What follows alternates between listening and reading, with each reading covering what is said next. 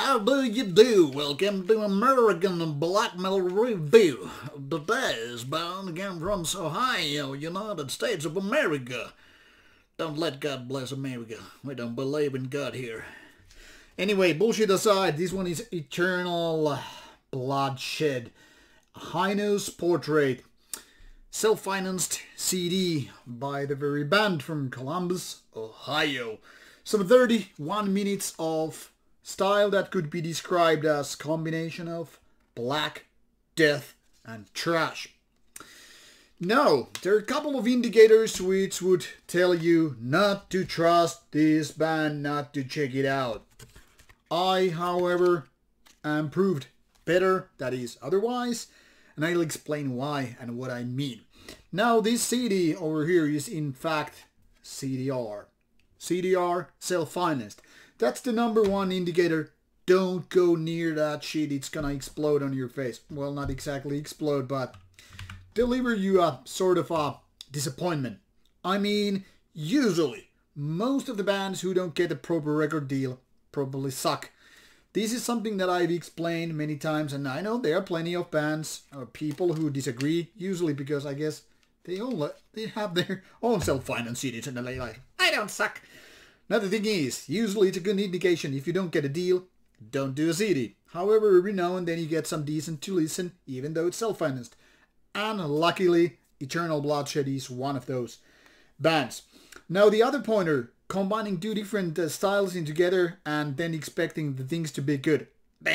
It's another warning sign. Usually it means the band is way too, uh, way too much spread around to make a good impact. It either sucks with the thrash, death, or black styles, and then a little bit like um, trying to gather up those shrapnels and figuring out how the mirror was before you broke it.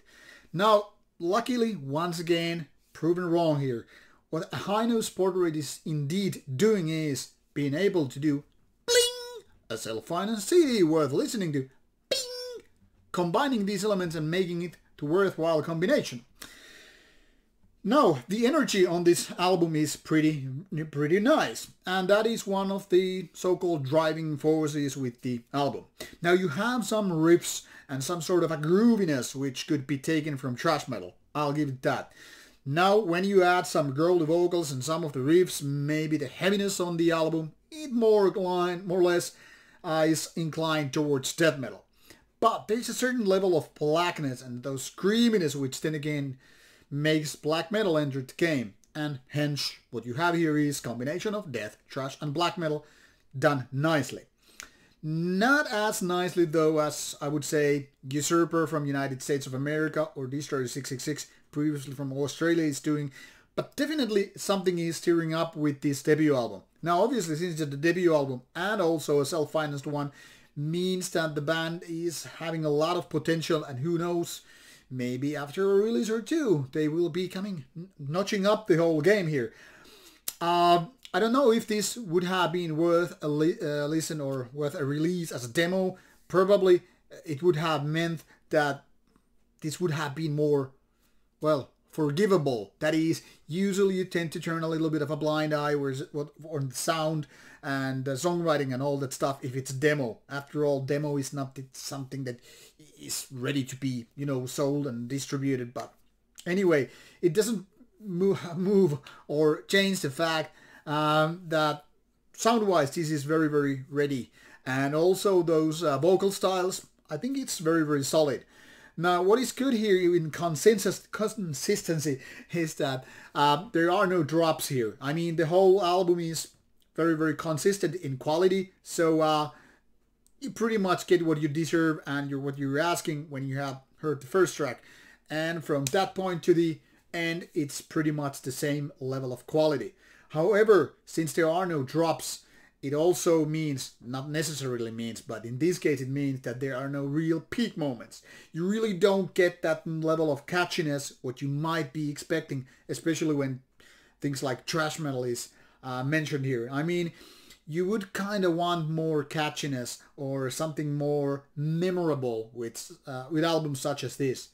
It's not a big thing, but it's still something that, in my opinion, is missing here. You know, the magic element, like everything blends a little bit too much you know, as a one whole thing.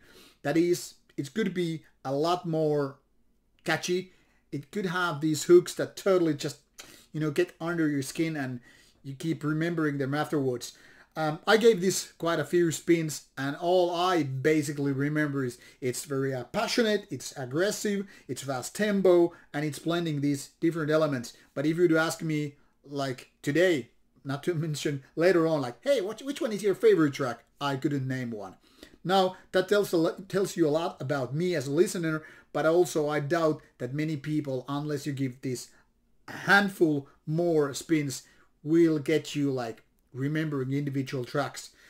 Now, be it as it may, uh, I urge you to check out the band. It's definitely quite interesting, if not even memorable, and I think it will be better in the years to come as long as the band keeps making more songs, doing better songwriting, and polishing the overall stuff here.